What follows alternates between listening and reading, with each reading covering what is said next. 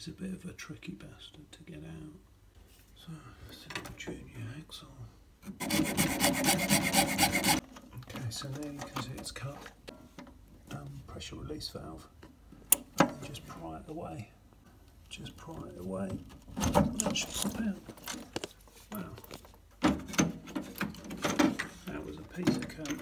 Absolute piece of cake.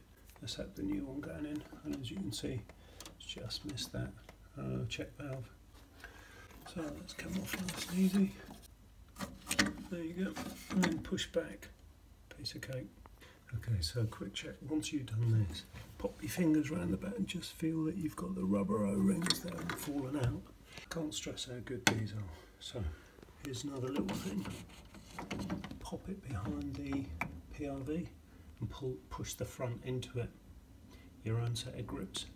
Easy life.